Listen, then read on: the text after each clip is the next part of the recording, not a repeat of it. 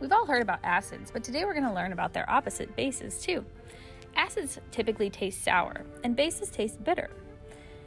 Acids burn and itch when you touch them, and bases typically feel slimy and slippery. Um, in another video, you're going to see some testing to figure out which things are acids and bases, but for now, we're just going to learn how they behave. So, when we take an acid like hydrochloric acid and place it in water, check this out all of the hydrogens detach and they form these free hydrogen ions that float about in this solution. Um, and that is the thing that is dangerous about acids. Bases, on the other hand, are a different type of chemical, and when we place them in the water, they are going to release a totally different thing.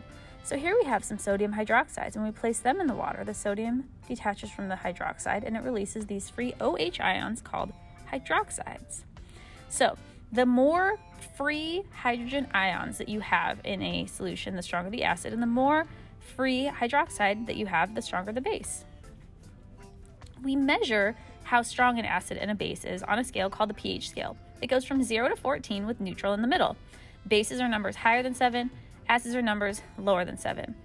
The weaker bases are closer to 7, and the farther away you get from 7, the stronger it is. And the same thing with the acids, the farther away you get from 7, the stronger it is. That's because at 7, the number of hydrogens and the number of hydroxides are equal to each other. And so then, as we start moving away from 7, the number of uh, hydroxides start to increase in relationship to the hydrogens as you move up the scale for the bases. And as we move the other way and the acids get stronger, the number of hydrogens start to outweigh the number of hydroxides. So the more hydrogens that you have in a solution compared to the hydroxides, the stronger the acid. The more hydroxides that you have compared to hydrogens, the stronger the base, right? So that's essentially what's going on with acid and base solutions. Now, a 6 doesn't just have one more hydrogen, it actually has 10 more, 10 times the number of hydrogens. So every step that we move away from 7, it gets 10 times stronger. So 3 is actually 10,000 times more hydroxides than 7, which is pretty intense. So these chemicals, as we get farther and farther away from 7, get stronger and stronger and more and more dangerous. To the point that if you have something that has a pH of 0, then it has 10 million more free hydrogen ions in comparison to something that would be neutral 7. The same thing happens with the base side. The farther away that we get from 7, every step on the scale, every number moves 10 times, 10 times, 10 times. And so you wind up with a 14 having 10 million times more hydroxide ions than water. So, what are some substances? Coffee has a pH of like 4 5, soap has a pH of like 8 9, lemon is like around a 3, and ammonia is somewhere at 10 11. And so, how do we know if something is an acid or a base?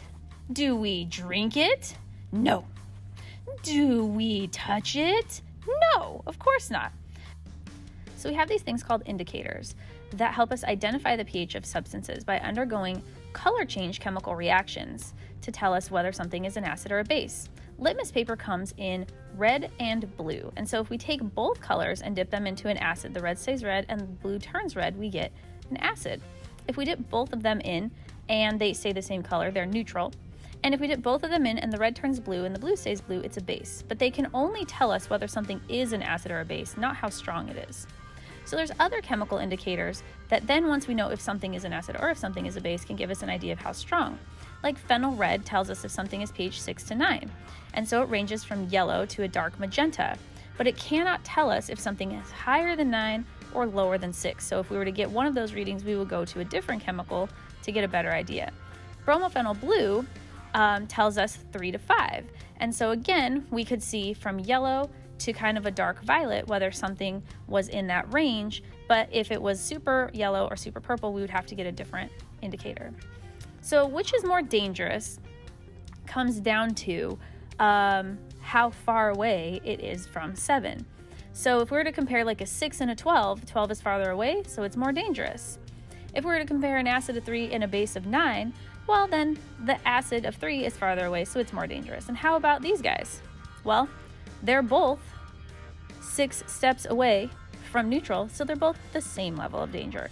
But keep in mind that substances behave and interact with different substances differently.